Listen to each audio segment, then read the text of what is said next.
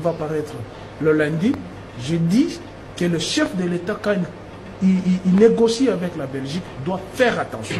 La Belgique, c'est une nation de promesses.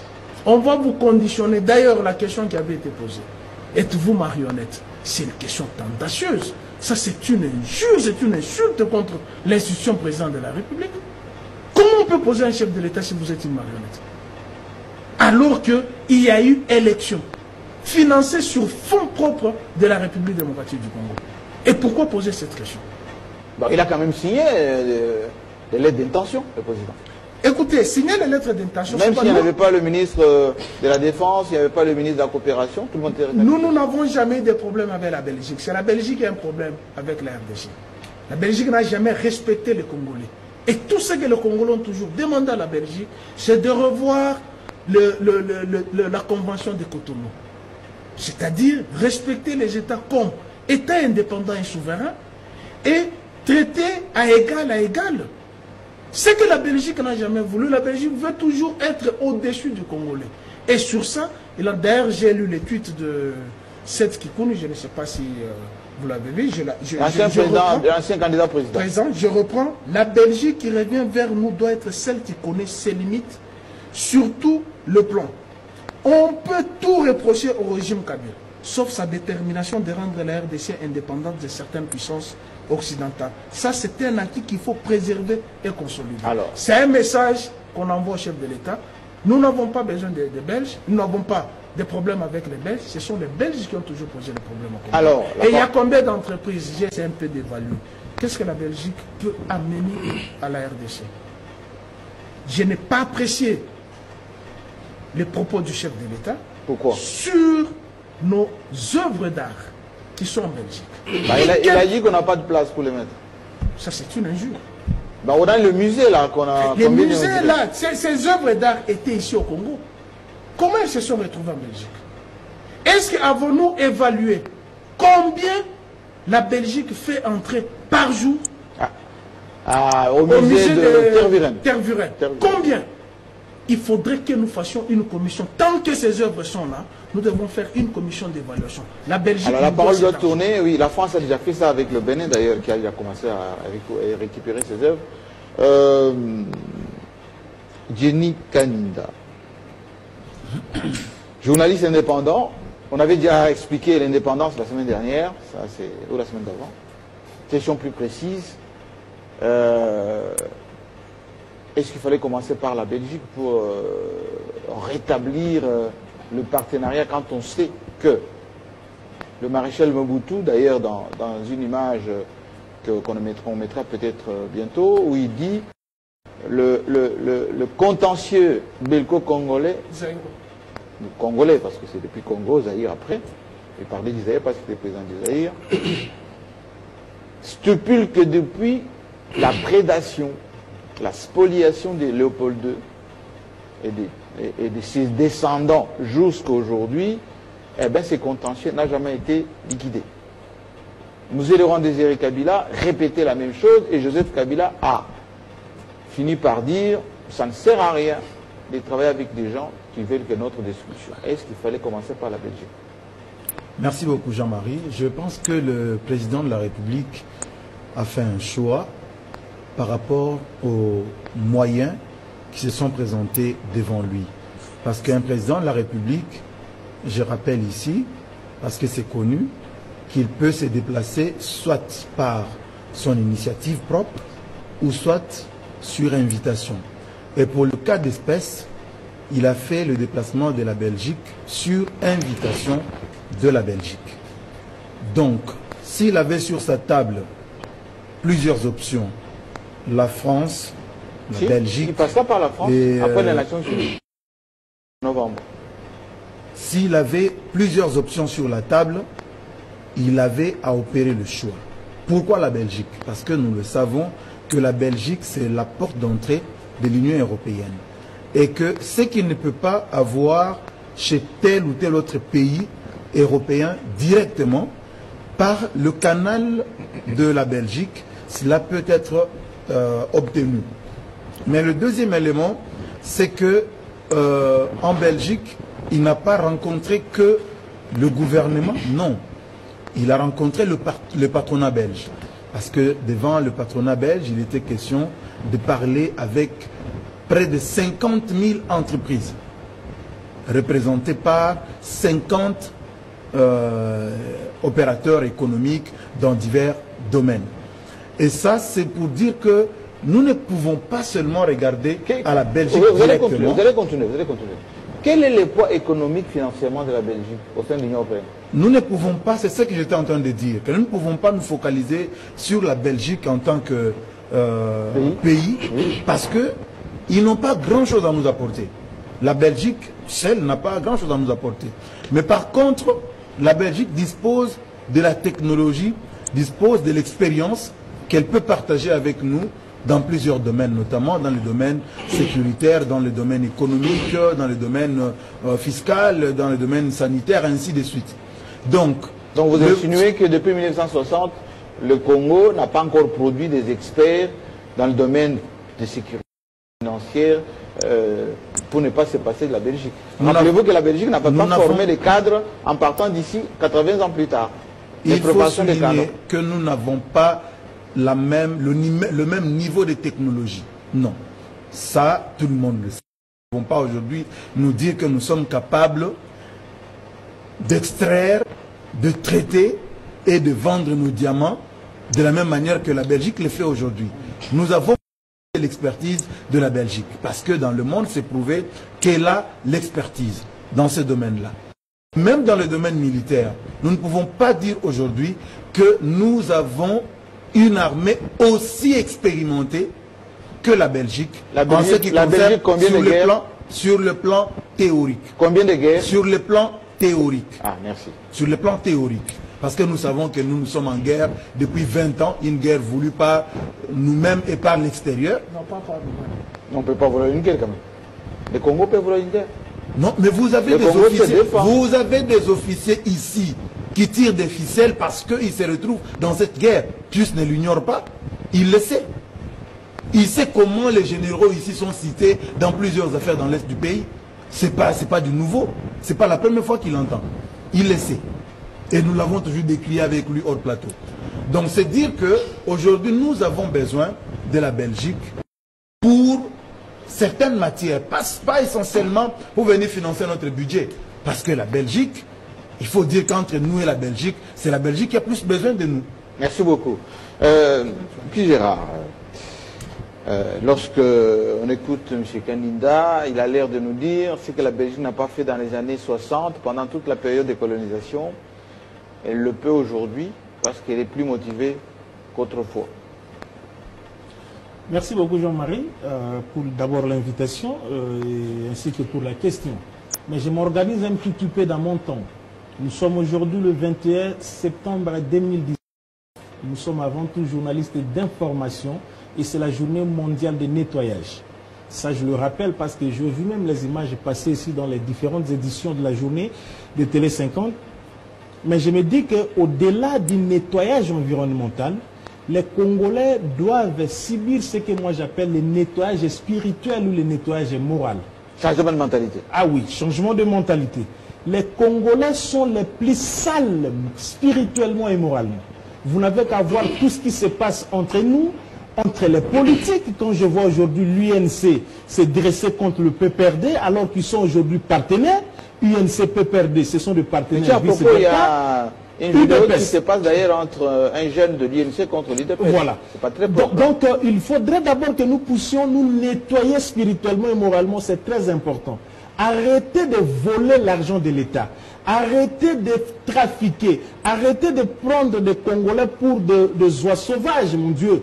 Pour que ceux-là qui deviennent aujourd'hui des dirigeants croient que non, tout leur est permis, mais de l'autre côté, ce sont de petits messieurs, Mais de petits citoyens. euh, Alors, c'est très important parce que je connais des ministres qui n'ont que de vélos dans ce gouvernement. Ils ne doivent pas se gêner. Ils doivent déclarer en toute responsabilité que j'ai mon vélo, j'ai mon terrain à Bibois. Ça ne gênerait pas.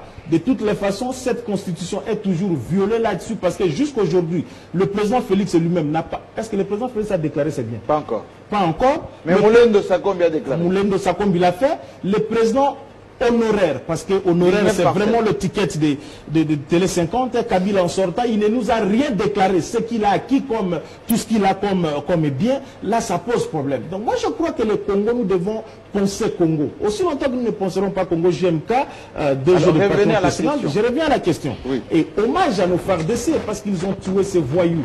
Je prête l'expression de, de, de Fachi, c'est Nyangala Kata qui était le chef des FDLR. Et aujourd'hui, un médecin congolais vient d'être tué. Voyez-vous quand Kanda le disait, vous l'avez pris un peu contre mire. Alors que tout ce que nous voyons ici dans notre pays, ce n'est pas seulement l'Occident. C'est là où je ne suis pas d'accord, l'extérieur, disons-le, avec plus, mais aussi tous ces traîtres qui sont en politique, tous ces traîtres qui sont dans l'armée, dans la police, dans l'administration. Écoutez un médecin qui se donne pour l'éradication de l'Ebola, vous allez le tuer. D'abord, le, le- le Camerounais, pour les Congolais aujourd'hui, vous êtes informés, donc il y a un problème là-dessus. Maintenant, je reviens à la question. Qu'est-ce qu'il faut retenir? De cette visite de, de- de Félix Tshisekedi Écoutez, moi, dans ma peau de nationaliste, je ne cessais jamais de le dire comme journaliste et patriote, parce qu'avant d'être journaliste, je suis d'abord congolais, il ne faut pas attendre grand-chose de la Belgique. La Belgique est d'abord hypocrite. Comme notre ancienne métropole, elle est hypocrite. La Belgique. Ah oui, la Belgique, elle est hypocrite. Regardez seulement dans le faits et gestes, vous allez les comprendre. Ah, Là, je suis d'accord avec Puce Laurent, qui est un PNO occidental. Lui également, il doit revoir là-dessus, connaissons- le connaissons bien des origines de l'autre côté, de l'Est du pays. Donc, écoutez, nous avons... Il parle de votre nom. Oui, je parle de votre De nom, monsieur, ne vous en faites pas. Ah, Nous sommes au Il aurait fallu nous sommes, nous sommes à l'ex-Katanga. Je ne parle pas ici de, de, de M. Soriano, je parle de, de, Florent. Moïse Kateni, Allez, Jean-Marie a- Kassama. Donc, avancez. je disais que Oui. c'est très important qu'on puisse euh, euh, bien penser là-dessus, Jean-Marie. L'hypocrisie des Belges à quel niveau L'hypocrisie de la Belgique, c'est que la Belgique ne nous soutient pas. Dans cette ère, non seulement ne nous soutient pas, merci, elle ne nous, elle ne ne nous aime pas. Mais on a vu les tapis rouges, Ne les C'est protocolaire tout ça. Jean-Marie, j'ai toujours dit à Félix Tshisekedi, il a trois amis devant lui. Les fanatiques, les flatteurs, et ceux qui sont venus pour s'arroger un peu de la place, pour avoir un peu d'argent, et nous autres qui pensons que nous pouvons dire à Félix des vérités comme amis pour que l'avancement du Congo puisse être visible. Ça, c'est très important. Tous ces tapis rouges-là, est-ce que Kabila ne l'a pas déroulé un tapis rouge pour lui? Oui, en Europe, euh, Belgique. Les, les Louis notamment, tout Michel, ça. on Louis dit, Michel, les Louis tout Michel ça. disait même c'est mon fils. hein. Voilà, c'est mon fils, et celui-là aussi un grand hypocrite. Oui. Mais regardez un peu ce qui se passe sur le terrain. Ils sont les premiers à ne pas vouloir notre bien. Vous n'avez qu'à voir les anciennes colonies françaises. Je prends le cas de la Guinée, la Côte d'Ivoire, vous avez le. Congo-Brazzaville, l'Algérie, la Tunisie. Quand ça ne va pas, vous avez un regard euh, très, très pointilleux de la France. Mais la Belgique ici nous prend comme un peu... euh. Donc euh, en réalité, nous ne pouvons pas attendre de, de- de la petite Belgique par rapport, par rapport au Grand Congo. Mais il est un fait normal. Félix, qui est un spécialiste en quelque sorte de la diplomatie depuis son parti politique l'UDPS, il faut comprendre que tout doit être capitalisé. Tout doit être capitalisé. Même si c'est peu, ça doit être capitalisé. Aujourd'hui, la Belgique ne peut pas être considérée comme la Belgique, mais n'oubliez pas que vous êtes un, un ancien de la diaspora. La Belgique, c'est la capitale de l'Union européenne. Alors, tous les la serrure à travers laquelle on peut regarder. tout, voilà, on peut regarder le reste de toute l'Europe. Donc, tous les grands enjeux passent d'abord par la Belgique, qui n'a comme revenu, qui n'a comme richesse que l'administration, La redevance de, des édifices à Et Bruxelles. puis, de l'OTAN et de l'Union européenne. l'armée. Il ne faut pas oublier, vous avez parlé de guerre encore, qu'il doit y avoir des guerres, mais la Belgique est comptée parmi ces pays-là qui, Qui- ont des armées. qui fabriquent et qui vendent voilà, des armes. Qui fabriquent et vendent des armes et pour, et, et pour qui l'armée en soi, c'est vraiment, euh, vraiment une force. Donc moi je dis que bravo à Félix Tshisekedi, pour qui je dis, après les Nations Unies et au mois de- de De novembre. novembre, la France, oui. cette fois-ci, Madame Toumba doit faire son travail comme ministre des Affaires étrangères. Il faut laisser monde voyager. Ah oui, laisser Toumba voyager.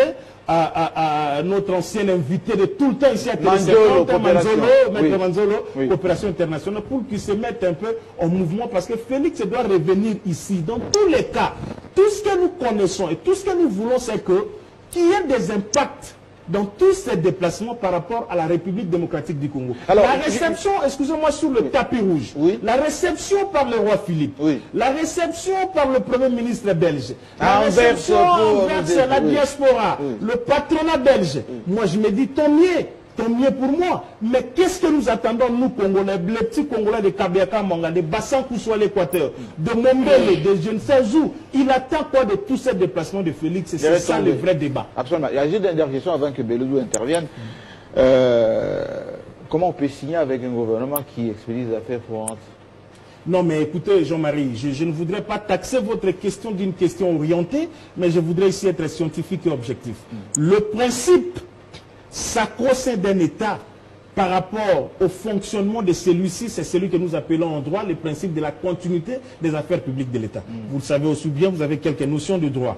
Aujourd'hui, quand je vois Willy Bakonga Oui. en train de parler de la gratuité de l'enseignement, alors que, euh, comment il s'appelle, les Sankourois, euh, comment il s'appelle, celui qui était l'intérim là, Okunji, et puis son prédécesseur. Euh, Voilà. Et, et nous devons rappeler aux gens, la gratuité de l'enseignement a commencé avec Kabila. C'était partiel, c'était graduel. Mais Félix est venu pour dire que, je ne sais, je le rappeler, ce n'est pas une promesse électorale, mais c'est une exigence constitutionnelle qu'il a prouvée par sa volonté pour pouvoir l'appliquer. C'est-à-dire que signer avec un gouvernement intérimaire ne change en rien parce que le principe de la continuité de l'État existe. Et même si le vrai gouvernement issu de... Je parle de Belges, hein. justement des Belges. Ici, d'une certaine légitimité viendra. La Belgique, je crois qu'elle va encore tabler pour voir. Ici, nous pouvons réajuster, nous pouvons continuer, nous pouvons maintenir. Mais vouloir passer cette communication, comme je le vis certainement venant des gens de Lamouka, pour Ah, Lamouka. ah oui, ça vient de Lamouka. Oh non, gouvernement on intérimaire, autres, le il y a la bango. Mais après ce gouvernement, il y aura un gouvernement légitime. L'État ne se limite pas par le gouvernement Philippe. L'État belge continue. Donc, euh, en fait, capitalisons et positivons les voyages de Félix Tshisekedi pour voir que dans tous les cas, nous l'avons suivi dans son discours avec l'échange avec la diaspora congolaise, c'est que le plus grand intérêt doit revenir aux Congolais. Et si c'est ça, nous allons l'acclamer. Mais si c'est le contraire, nous rappellerons à Félix, c'est que lui-même a chuté dans son discours qui a été très applaudi, Papa Lobaki, le peuple d'abord. Merci bien. Alors, Bélédou, euh, d'où Jésus, responsable de Liberté Actu, euh, question directe, est-ce qu'il y a euh, matière à gloser, allez, j'utilise le mot un peu plus accessible, à se féliciter de cette visite de trois jours en Belgique. Bien évidemment, euh, Félix Chilombo était un ancien de, de- de- de Bruxelles. Il est même parti dans le café où il faisait souvent ses réunions avec ses, amis de l'IDPS de l'époque. Est-ce qu'on peut y attendre quelque chose quand on sait que l'instabilité des différents gouvernements belges, le manque de disponibilité entre Wallons et, et Flamands, tribal, hein. tout ceci fait que la Belgique n'ose plus euh, allez, augmenter son budget de développement, de la coopération, euh, parce qu'effectivement, elle n'a plus les moyens. Et qu'est-ce que nous, on a à perdre avec des gens qui vont aussi chercher l'argent en Asie Justement, je n'aimerais pas faire le rédit de tout ce qui a été dit ici, mais j'aimerais m'organiser dans mon montagne pour dire à, à Gérard que lorsqu'on parle de la gratuité de l'enseignement, on dit que ça a commencé depuis l'ère Kabila. Il faudrait aussi aider les téléspectateurs pour dire que ça ne concernait que 20% de ce qu'on paye, c'est que les parents payaient dans des écoles, c'est-à-dire les minervales. Les minervales, vous allez à l'intérieur du pays, c'est pratiquement 500 francs. Mais c'était graduel. Mais justement, j'étais correct je- avec je- moi-même. Je ne contredis pas. progressiste, voilà. Je ne contredis pas. Progressif. On ne se contredit pas. C'est un Voilà. élément que je, com- je complète juste un Ah, élément pour dire cela ne concernait pas. Kinshasa. Je voudrais qu'on soit correct sur la Voilà, ça ne concernait pas. Kinshasa, Ah. ça ne concernait pas aussi les grands Katanga dans son format. C'était Euh, Lubumbashi ah, non, non, non, Kinshasa. Ça ne concernait pas les grands Katanga dans son ensemble, comme Kinshasa, ça, concernait, ça concernait d'autres provinces, et cela n'établit que sur 20%. C'est ce que. Euh, euh, évoluer. Tout ce qui se paye. Voilà. Donc ça c'est une précision détaillée parce que je suis Un quelqu'un complément. qui- quelqu'un pas qui disait la, la- la gratuité complète a commencé depuis Kabila. Donc je pense que c'est un élément à préciser pour. Même maintenant, il y a euh, encore des, des écoles où les enfants n'étudient pas parce que les frais de fonctionnement Oui, ne sont pas versés. parce que le pays a connu sa plus grande farce, moi je le dis ainsi, avec la construction d'un projet des 1000 écoles, les projets PRIS, je crois, si je ne m'abuse Ah, il y a pas. eu 2000 écoles, mon ami. Bon, c'est 1000 écoles, mais Ça a été construit. Si, si- si vous allez sur Elles le terrain, si vous allez sur le terrain, c'est une une, c'est une escroquerie farce, nationale, ça. c'est une escroquerie nationale, il faudrait le dire. Ça a été Le projet est sur un- un 100 millions de dollars l'an pour la construction et la réhabilitation des écoles. Euh, moi, j'ai été dans le Congo profond. J'ai vu plusieurs écoles. Ce n'était que du pipeau, du vent vendu. Et aujourd'hui, les gens ne répondent pas sur ce qui s'est passé. Un projet qui devait consister à la construction et la réhabilitation de 1000 écoles. Mais aujourd'hui, on n'en compte même pas 300. à Raison pour laquelle il ne faut pas s'aventurer à faire des promesses qui ne peuvent pas se réaliser. Justement, il faudrait, que- il faudrait commencer d'abord aussi par pointer du doigt ceux qui ont eu cette responsabilité, qui aujourd'hui s'éveillent en donneur des leçons. Donc je crois que s'il faudrait revenir à, à votre pertinente question, euh, Jean-Marie Kassamba, Qu'attendre Qu'est-ce qu'on peut attendre de, de- de cela? Justement, moi je n'aimerais pas qu'on peigne un tableau un peu sombre de la Belgique.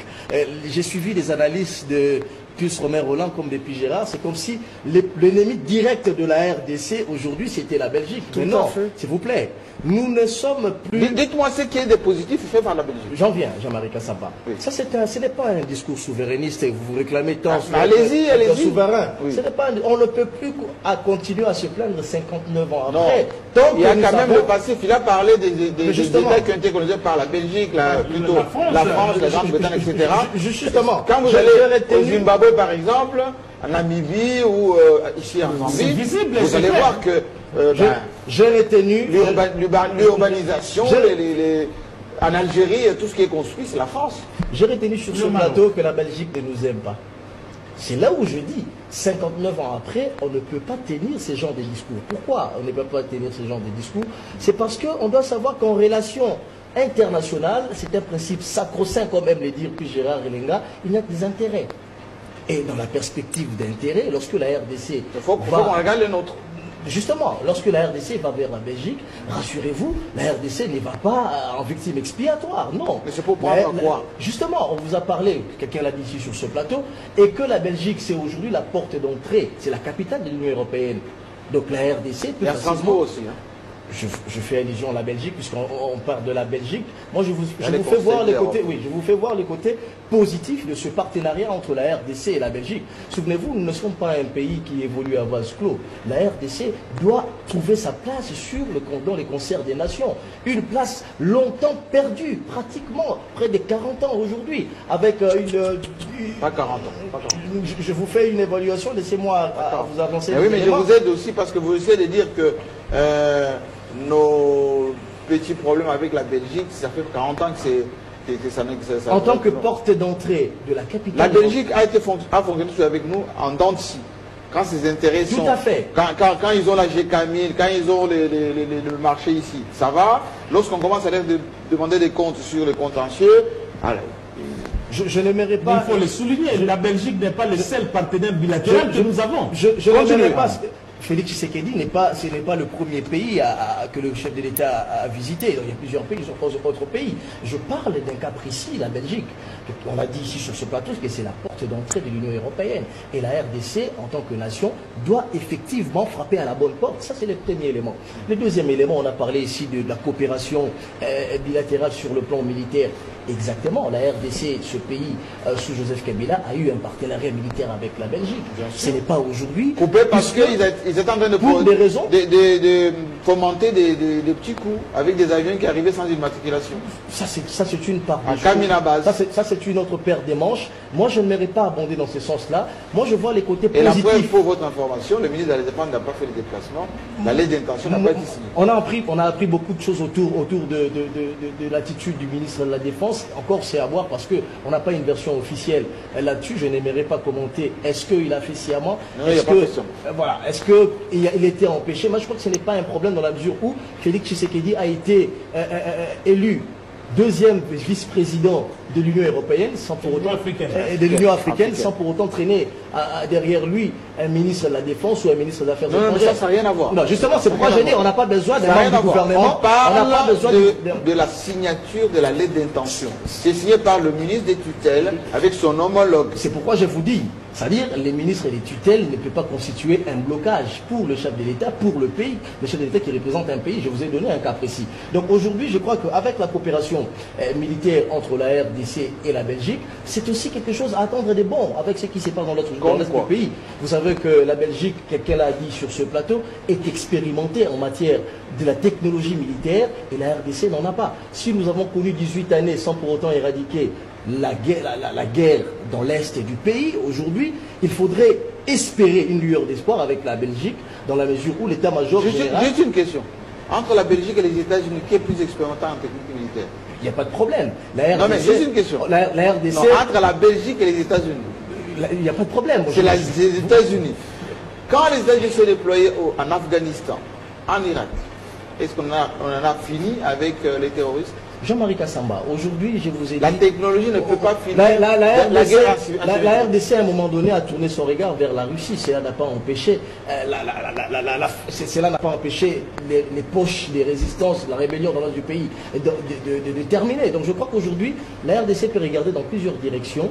Et comme la RDC regarde au niveau de la Belgique, la RDC peut regarder au niveau des États-Unis et d'autres pays. C'est là, c'est dans le cadre de redynamiser euh, euh, euh, ce pays le- le- le- sur le plan diplomatique qui, un moment donné, on avait l'impression que c'était en veilleuse.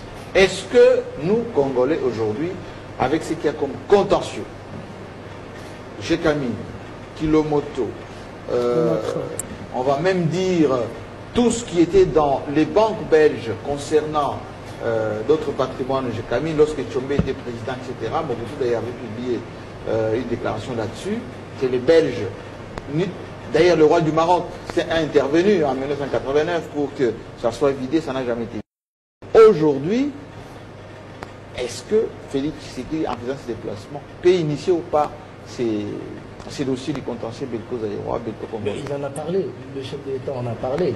Il a parlé de, de ce qui, en ce qui concerne les terres congolaises. Non, non, je ne parle pas des terres, je parle des contentieux, l'argent, le il a- patrimoine. Justement, il a fait allusion. Parce que sur euh, les œuvres d'art, il y a déjà l'impair, qu'on ne peut pas les récupérer, on ne sait pas les, conserver ou les, les- les, euh, les garder chez nous, etc. On n'a pas le moyen pour le moment. Pourtant, on a notre musée. Ça, c'est un. Des deux, cet argent qui nous revient des droits, qu'est-ce qu'on en fait? Mais Justement, je crois, je- j'en venais, vous m'avez interrompu, Jean-Marie. Continuez. Lorsque le chef de l'État fait, je commence par les œuvres d'art, vous savez que la RDC, exactement, le chef de l'État a raison, ne peut pas accueillir tout ce, tout ce qui Je concerne pas les œuvres d'art. Commencez déjà par quelque L'essentiel des œuvres d'art. Nous avons tout un bâtiment inauguré Non. il y a quelques semaines. Je vous informe que si vous interrogez les spécialistes dans le monde d'art, ceux qui se- s'en occupent à l'Académie des Beaux-Arts, je vous, je vous citerai même certains noms, Diki Songele et Steve Bandoma, ils vous diront que la- le musée qu'on a construit ici ne peut accueillir que 30% des œuvres d'art qui sont ici même dans ce pays, pas ceux qui sont disséminés à travers le,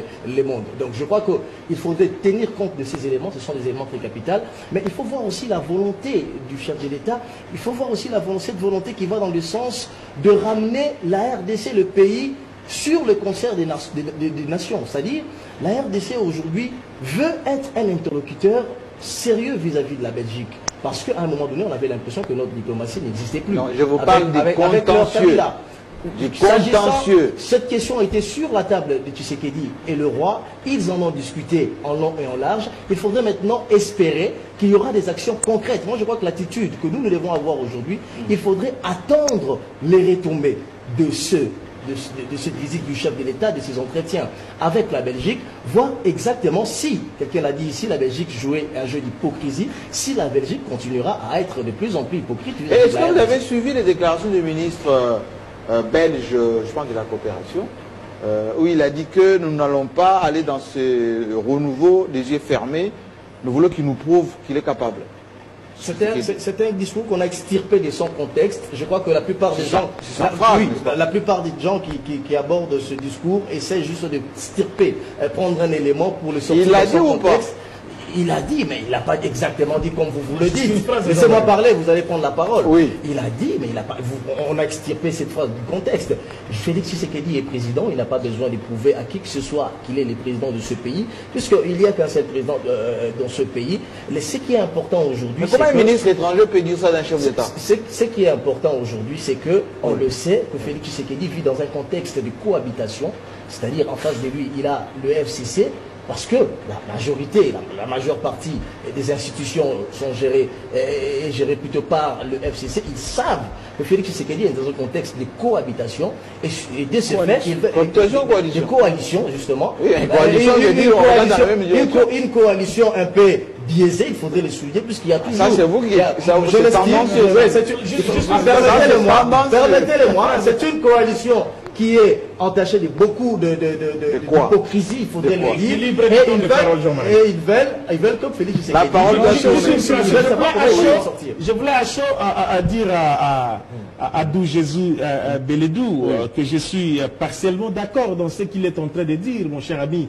Mais écoutez, ces Occidentaux, nous les connaissons. Ce n'est pas parce qu'on les disons que nous, nous disons que non, Félix. Félix doit prouver quoi? Il n'a rien à prouver. Félix a été élu président par les Congolais. Mais l'hypocrisie de la Belgique, nous devons la souligner, mon cher ami.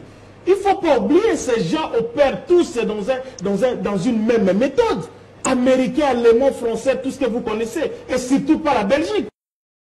que la Belgique devait être cette défenderesse, cette défonceuse de nos intérêts en premier lieu. Mais par contre, c'est elle qui est, qui est là, qui est fossoyeur, comme vous le dites. Donc ceci ne nous, euh, ne nous, ne nous, ne nous extrait pas à, dire à Félix Tshisekedi comme président de notre République démocratique du Congo, faites attention. Tapis rouge, bon, reçu au Palais Royal, c'est bien. Tout cela, ben, pas, voilà, c'est bon. Mais attention, il s'agit des Belges qui n'ont pas un cœur ouvert avec nous, parce que l'histoire nous renseigne, vous connaissez comment est-ce que les Belges ont quitté ce pays en 1960 pour partir.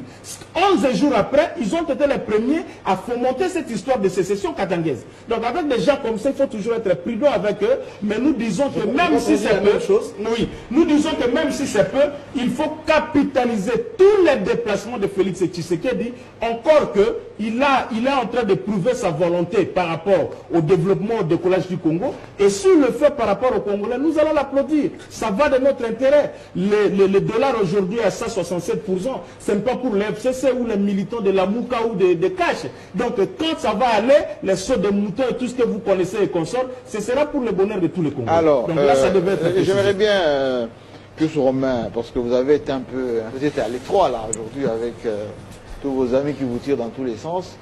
la souveraineté, les martyrs, euh, quand on sait que les dents de, de, Lumumba sont encore quelque part chez un militaire ou policier euh, belge, il brandissait ça autrefois. Euh, il y a même d'ailleurs dans un village belge le crâne d'un chef coutumier du Maniema. Est-ce qu'on peut cracher sur tout ça avec ces, on a vu des, drapelés, des c'est ça ce que je voulais Les d'atonium. Euh, c'est ça ce que je voulais dire à, mon frère, d'où Jésus Belédou.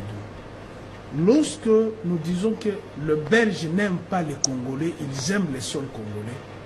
Mon frère, si nous voulons scruter l'histoire, notre passé avec la Belgique, elle est tellement amère, très douloureuse, et même pour prononcer le mot Belgique, il faut mettre au moins 14 litres dans la bouche d'eau. Ça nous fait mal. Surtout, vous venez de me rappeler d'un crâne qui se trouve dans... Je, vous avez suivi, j'avais une émission avec à l'université, oui, oui, de Liège, je pense. Tout un chef coutumier, tué par le Belge, le crâne se trouve en Belgique. À la question que vous avez posée, quel est le poids économique et financier de la Belgique pour venir en aide à la République démocratique du Congo? Déjà, entre Wallons et Flamands, ils se disputent déjà le budget. Je peux les Flamands disent que les, les Wallons sont des, des vous avez, vous avez, été en Belgique Oui, je connais bien la Belgique. Il y a une province qui a été fermée à cause de la, de la Oui ou non? Est-ce que la Belgique... Mais même l'activité envers ça a beaucoup diminué. Hein Anvers vit à cause les, les diamants déjà, euh, on a transféré ça vers Tel Est-ce que la Belgique peut nous offrir? Je vous dis que toutes les questions qui ont été posées, j'entends d'où Jésus nous dire, il y a la coalition hypocrite. Est-ce que c'est la première coalition? Les Belges eux-mêmes n'ont pas vécu dans la coalition. Mais tout le temps en coalition. Tout le temps en coalition. De l'instabilité des gouvernements. C'est un prétexte de ne pas vous venir en aide. Il faut des conditionnalités des droits de l'homme, de démocratie, des respect, des respects et même des questions qui sont posées bêtement, je suis vraiment choqué d'entendre La Belgique, je pense, euh, puis Gérard l'a dit, la Belgique devrait être notre défenseur.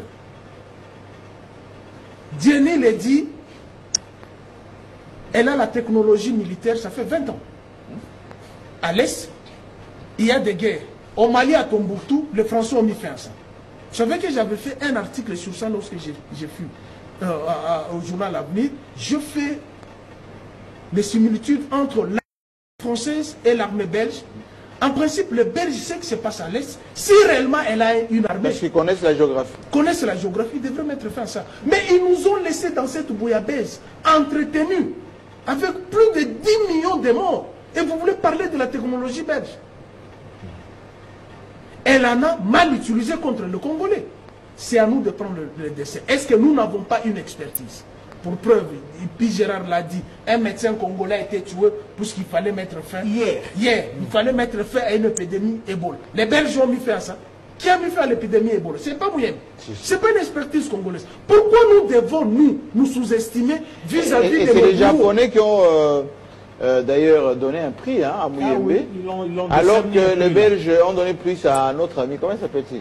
Mukwege. Mukwege, parce Toujours- qu'il embêtait le toujours gouvernement tendance. congolais. La Belgique est là juste pour entretenir les hommes politiques à déchirer ces pays. Dès que vous toussez, ils vous ouvrent la porte de l'ambassade. C'est ça le comportement des Belges. L'accueil des opposants. L'accueil des opposants. Et vous imaginez un partenaire pareil. Je pense qu'il y a plusieurs pôles. Je vous ai répété ce que Mende m'a dit hier. Le problème des Belges, c'est qu'ils n'ont jamais voulu que le Congolais s'ouvre à d'autres partenaires. Les Belges veulent être là comme des commissionnaires, pensant que la République démocratique du Congo est encore une colonie belge. Mais nous avons des On partenaires. leur donne des mandats pour Mais pourquoi. Jean-Marie, vous ne, vous ne rediffusez pas cette émission avec Michel Dimon pour que le Congolais comprenne la méchanceté de l'Occident vis-à-vis du, du Congo? Merci beaucoup. Alors, Jenny Kaninga, euh, j'ai écouté quelques spécialistes euh, dire que la diplomatie n'aime pas la politique de la chaise vide, mais en même temps, qu'en diplomatie, il ne faut pas signer les yeux fermés et donner quitus carte blanche à votre partenaire parce qu'il risque d'avoir votre signature et aller capitaliser avec sans que vous soyez au courant. Tous ces experts belges et professeurs d'université, on l'a vu à l'université de Liège, même je dirais à, à, Louvain-la-Neuve, etc., qui s'agitent maintenant pour venir en RDC. Est-ce que c'est pour notre bien ou c'est pour euh, qui passent pour être des spécialistes de, la RDC et qui vont aller dans certaines officines euh, euh, ou chez le gestionnaire de fortune chercher des, marchés pour nous? Et vont nous, nous- nous fa- nous fa- nous- nous facturer ça plus cher en termes d'intérêt. Bon, moi je suis un peu dérangé par euh, ce que j'entends de la part de Pius, parce que c'est comme si, Qu'est-ce qui vous dérange, Pius c'est comme si sur le plan international, nous ne pouvons avoir que l'argent. Ça, ça, ça, ça c'est, ça c'est dérouté. Là, vous parlez du lobbying Ça, aussi. ça, c'est dérouter carrément le- la réflexion, le raisonnement. Nous ne pouvons pas avoir que l'argent auprès des partenaires. Il y a ce qu'on appelle aussi le transfert de la technologie. Nous n'avons pas la technologie, Jean-Marie. Ils ont fait licences. 80 ans ici. Ils ont fait- Laissez-les, je les S'il te protège, je plaît, les Pius. protège. ils ont fait 80 S'il te ans plaît, ici. Pius, nous n'avons pas de technologie, que ce soit sur le plan militaire, sur le plan médical, sur le plan... Nous n'avons pas de technologie. Nous sommes archaïques. Est-ce que les Belges sont prêts à nous Nous la sommes archaïques. Jean-Marie Kassambatuna qui a fait le tour des rédactions pour voir combien de rédactions disposent de la connexion Internet. Pour te rendre compte que nous sommes archaïques. Et c'est pas seulement... Là, j'ai pris un petit, un bête exemple. hein, Dans les rédactions, là où tra- travaillent les journalistes, combien sont connectés à l'Internet? Donc c'est pour vous dire que sur le plan international, oh s'il te plaît, s'il te plaît Pius, s'il te plaît, tu as parlé. Donc sur le plan international aujourd'hui, nous avons à gagner avec la Belgique. Et pas seulement avec la Belgique, même avec ceux-là qui sur le plan euh, officiel comme ça peuvent s'afficher être pour la RDC, alors qu'en réalité nous savons qu'ils sont contre nous. Mais tout ce que nous, nous avons à faire, c'est de nous déterminer, de nous autodéterminer Oui. à pouvoir assurer notre développement, à pouvoir mettre en place. Je salue ici le code minier qui a été laissé par Joseph Kabila avant son départ, même s'il a pris beaucoup de promulgué, temps, promulgué. même s'il a pris beaucoup de temps pour, le, pour, pour finalement le promulguer, mais finalement, en fin de compte, avant de partir, il a promulgué. Ça, je salue. Nous devons disposer de mécanismes d'autodéfense, comme le disait Mouzé Laurent Désiré Kabila. C'est nous qui devons nous, nous prendre en charge pour notre développement. qui Parce que les blancs, lorsqu'ils viennent. Jésus l'a dit, ils viennent pour leurs intérêts. Ils voient leurs intérêts. Mais si nous, au niveau interne, nous mettons les lois qui protègent les Congolais, qui protègent les droits des Congolais, cela fera que lorsque eux viennent, ils vont trouver la réglementation congolaise. Mais Aujourd'hui, nous voyons ce qui se passe là. J'ai suivi une vidéo avec Poutine, avec des entreprises qui voulaient fermer chez lui. À un certain moment, il l'a appelé, il, il leur a fait signer euh, Un engagement. euh, un engagement sur place là, Oui. qui devait continuer à travailler parce qu'il mettait en péril la vie de beaucoup de,